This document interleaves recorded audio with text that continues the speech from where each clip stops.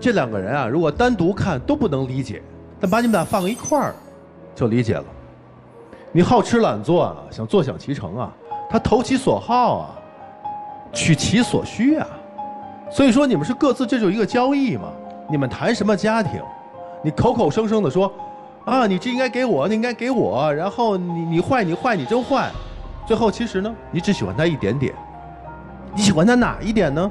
就是现在还肯把钱给你，不是，怎么不是呢？就因为他其他的吧，就除了聊暧昧一些的吧。哦，除了聊暧昧，请问你上一段感情为什么失败？？就是平常的话，就是对我还是有求必应，还是挺好的。对呀、就投其所好吗哎？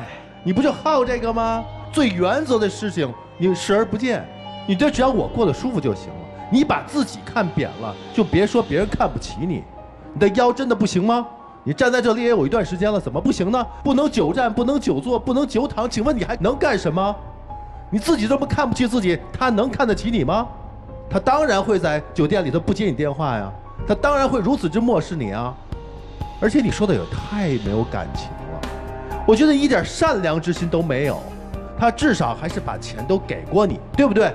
你呢？对于他最至亲的八岁的儿子，居居然如此之冷漠，居然说你的房子加上我的名儿，我才能去工作。拜托，你工不工作是你自己的事儿啊，要人家房子干什么？你要得到吗？男生，你不容易，但是你最不容易的就是你自己造成的。你聊着暧昧，给人刷着礼物，你心里惦记到底是什么？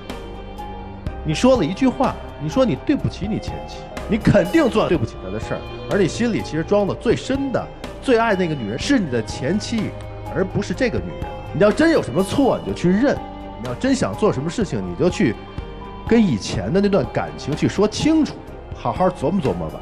就这样。